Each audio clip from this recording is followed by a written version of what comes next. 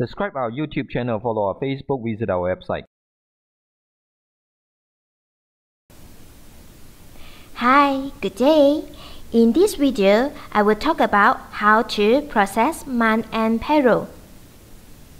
Before you process month-end payroll, please do make sure that you already complete the setting in Maintain Employee.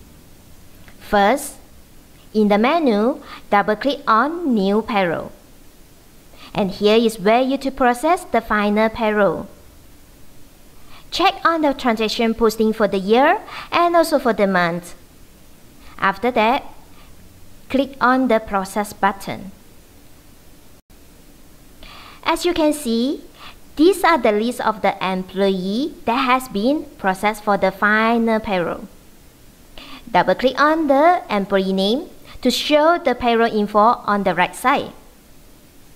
And to show the breakdown of the payroll info, example for the allowance, you just have to double click on the allowance wording and from the bottom, you will see that the allowance breakdown in details.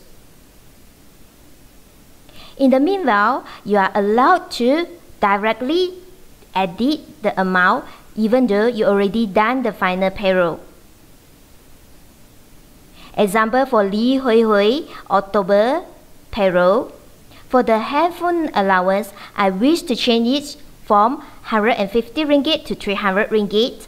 What I have to do is just go to the rate column for the handphone, then change it to 300. When the time is saved, immediately the system will recalculate the deduction for EPF, social, and also income tax.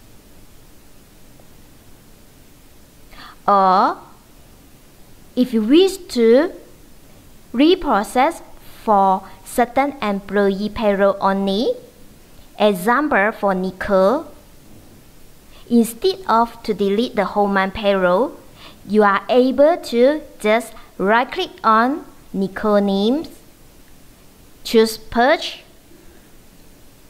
click yes to delete Nicole payroll, click OK on it, and from the October payroll list, Nicole name has been removed.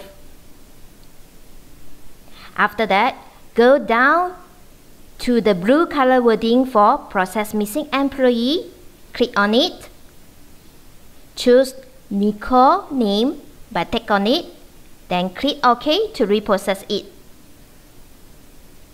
And here you go. Double click on the Nicole name to show Nicole payroll info that has been reprocessed earlier. That's all for today's video. Thank you. Subscribe to our YouTube for the latest videos, follow our Facebook for the latest update, go to our website for reports and guides. It's so easy.